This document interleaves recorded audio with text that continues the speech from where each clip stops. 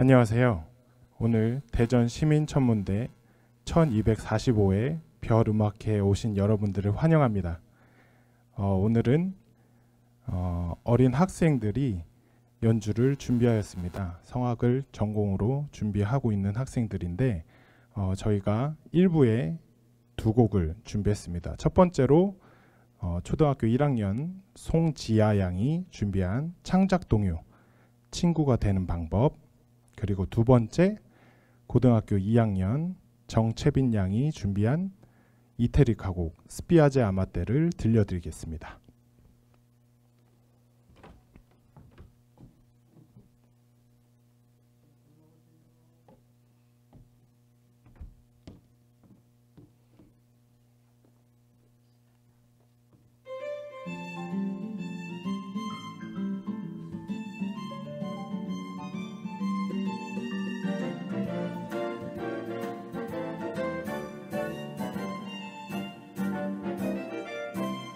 제대로 인사하기. 친구 얘기 들어주긴 두 번째 세 번째에 진심으로 맞장구 치기. 그래 그래 그다.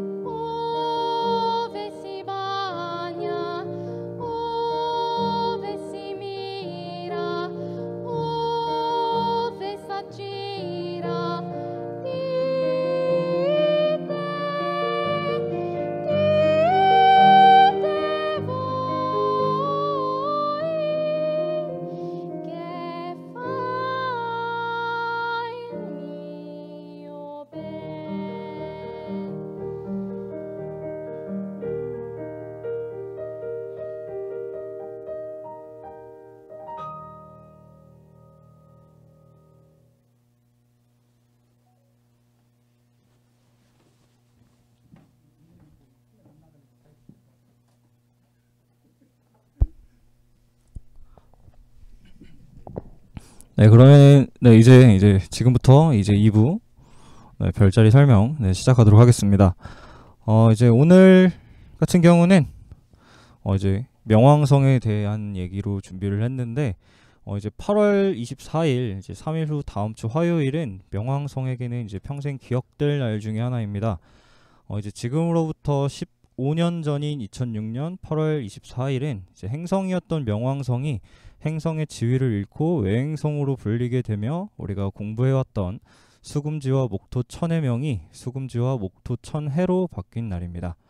그리고 그날은 명왕성뿐만 아니라 이제 다른 행성 또한 행성의 지위를 잃을 수도 있다라며 다른 행성에게도 이제 긴장감을 안겨주는 날이기도 하는데요. 어, 오늘은 이제 이 명왕성이 어떠한 이유로 행성의 지위를 잃게 되었는지 알아보도록 하겠습니다. 어, 이제 명왕성은 지금 저기 태양계 거의 끝자락에 위치한 행성입니다.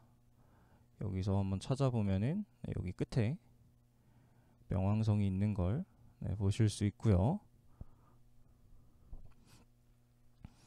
어, 이제 명왕성이 이제 행성이라고 불릴 때는 이제 행성이 조금 다른 의미를 지금과는 좀 다른 의미를 갖고 있었는데요. 어, 옛날에 행성이라는 거는 이제 해, 갈 행자에 별 성자를 써서 이름 그대로 움직이는 별을 행성이라고 불렀습니다. 이제 하루하루 시간이 지나도 별들은 이 사진처럼 별들은 다 자기 자리에 있는데 하루하루 시간이 지나면은 이렇게 밝게 보이는 이 점들 이게 다 행성입니다. 행성들은 이렇게 움직이는 모습을 이제 하게 되는데요. 그래서 옛날 사람들은 이 행성이 움직이는 이렇게 밤하늘에 이렇게 움직이는 별을 보고 저런 애들을 행성이라고 불렀습니다. 어, 이제 요게 이제 행성의 움직임을 이렇게 이어붙인 사진이고요. 어, 명왕성 또한 밤하늘에서 관측하게 된다면은 이제 행성이란 걸 알 수가 있는데요. 어, 요 사진을 보시면은 사진 한 가운데 가만히 있는 별들 말고 이제 움직이는 별이 하나 보입니다. 네, 이렇게 이제 해, 명왕성 또한 관측이 되기 때문에 이제 행성으로 불리게 된 거고요. 근데 이 명왕성은 행성이라고 이름이 붙여지긴 했지만 관측 기술이 발전하고 명왕성의 크기를 알게 되면서 많은 다양한 논란들이 생기게 됐는데요. 이 명왕성은 크기가 너무나도 작아서 조금 문제가 많이 됐습니다. 이제 보시면은 여기 나와 있는 것처럼 이 명왕성은 우리 지구 옆에 있는 위성인 달보다도 크기가 작았습니다. 단순히 크기만 비교를 해보면은 이렇게 거대한 지구는 행성이라고 불렸고요. 지구 옆에 돌고 있는 이 쪼, 조그만 요런 천체는 이제 위성이라고 불렸는데 이것보다 더 작은 저 이제 행성을 천체를 이제 명왕, 명왕성인 천체를 행성이라고 불려서 이제 혼란이 생겼었는데요. 어, 이때까지만 해도 어, 행성은 이제 그냥 움직이는 별들을 모두 행성이라고 불렀기 때문에 이런 문제점들이 많았습니다. 어 이제 근데 명왕성이 이제 처음 발견된 이후로 수많은 천체들이 계속 발견되면서 이제 이런 논란들이 계속 생겼는데요. 어, 또 최근에 이제 관측을 하다 보면서 어, 여기 이제 명왕성이 있고 옆에 카론이라고 불리는 명왕성의 위성이 발견이 됐습니다. 이 위성과 명왕성의 크기를 비교를 하시면은 그렇게 큰 차이가 나지 않습니다. 이제 우리 지구 같은 경우는 달이 지구를 돈다라고도 볼 수는 있는데 이 카론 같은 경우 카론과 명왕성 같은 경우는 이 위성인 카론이 명왕성을 돈다기보다는 명왕성과 카론이 서로를 돌고 있는 상황이었습니다. 게다가 이 두 개의 차이가 크지 않고 이제 위에 있는 것처럼 수많은 소행성들이 관측되었던 데다가 이것보다 훨 명왕성보다도 훨씬 커다란 천체가 많이 발견이 됐습니다. 네, 그래서 이제 이렇게 수많은 많은 순환을 겪은 명왕성이 2006년 8월 24일에 행성의 지위를 잃고 명왕성이 되었습니다. 그리고 이 과정에서 이제 행성의 정의가 행성의 정의가 조금 뚜렷해졌는데요. 어, 이제 행성의 정의 어떤 애들을 행성이라고 불리는지 조금 더 살펴보도록 하겠습니다. 지금 여기 화면에 나와 있는 것처럼 이제 행성은 어, 이, 이 명왕성이 쫓겨나면서 이제 정립이 됐는데요. 지금 태양 주변에 원들이 보입니다. 여기 이제 태양계 행성이라고 불리는 수금지와 목토 천에 행성들이 공전하고 있는 궤도인데 첫 번째 행성의 조건으로는 이 태양을 공전하고 있는 있다라는 게 첫 번째 조건입니다. 어, 이 조건은 태양계 내에 있는 천체는 대부분 적용되기 때문에 큰 문제는 되지 않고요. 그리고 두 번째는 크기가 커서 공의 형태를 유지를 해야 됩니다. 어, 보시면은 지금 여기 나와 있는 것처럼 지구는 동그란 형태를 갖고 있습니다. 그래서 이런 애들은 이제 행성이라고 불릴 수 있고요. 그리고 옆에 보면은 여기 조그만 돌덩어리들이 있습니다. 이런 애들을 보통 소행성이라고 불리는데 이런 것들은 이제 공의 동그란 공의 형태를 유지하지 못하고요. 이렇게 보시는 것처럼 울퉁불퉁한 모양을 하고 있습니다. 그래서 이런 애들은 이제 행성이 될 수 없습니다. 근데 이제 보시면은 이 명왕성 같은 경우는 지금 보이는 것처럼 태양계 태양 주변을 돌고 있는 첫 번째 조건을 만족하고요. 그리고 동그란 공 모양을 유지하고 있다는 두 번째 조건도 만족을 하는데요. 어, 이 명왕성이 행성이 될 수 없는 이유는 이제 세 번째 조건을 만족하지 못하기 때문입니다. 지금 여기서 이제 행성 명왕성으로 다시 한번 가보면은 어, 행성이 되기 위한 세 번째 조건으로는 이제 주변에 아무것도 없어야 된다는 게 세 번째 조건입니다. 이제 아무것도 없다는 게 어, 이 행성이 돌고 있는 궤도 내에서 얘가 이제 대장이 되어야 되는데 명왕성 같은 경우는 옆에 있는 이제 카론과 크기가 너무나도 비슷해서 어, 이 명왕성이 그 궤도에 대장이 될 수가 없었습니다. 그래서 세 번째 조건을 만족하지 못하기 때문에 이 명왕성이 행성으로 제외되었고요. 이제 외행성으로 분류돼서 그렇게 불리고 있습니다. 네, 이렇게 행성이 조건이 정해져 있는데 여전히 아직까지도 이 행성이란 것에 대해서 논란은 많이 있습니다. 어, 이 행성뿐만 아니라 우리 우주에 있는 수많은 천체들에는 이제 분류하기 애매한 천체들이 정말 많이 있는데요. 어, 어쩌면 시간이 지나면서 새로운 천체들이 더 발견이 되면은 어, 이제 이 명왕성뿐만 아니라 지금 우리가 알고 있는 수금주와 목토, 천해 그 여덟 개 행성 중에 또다시 행성의 지위를 잃게 될지도 모릅니다. 어, 그거는 여러분들이 나중에 더 관측을 해보면서 이제 새로운 것들이 발견되면은 그때 결정될 것 같고요. 어, 오늘은 이렇게까지 알아보도록 하겠습니다. 네, 이걸로 2부 별자리 설명은 마치고요. 네, 그러면 이어서 3부 진행하도록 하겠습니다. 네, 3부 시작하겠습니다. 어, 3부에 불러드릴 곡은 총 3곡인데요. 네, 첫 번째 곡은 어, 소프라노 송지아 양이 준비한 뮤지컬 애니에 나오는 투머로우입니다.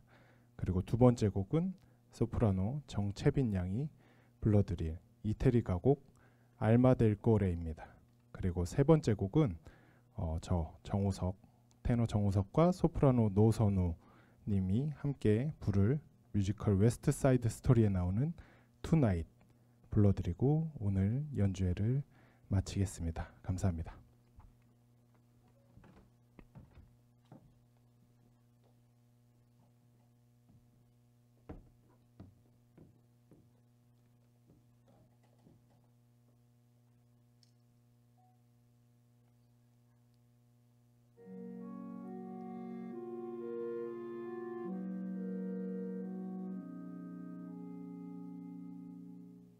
오 해가 떠요 내일의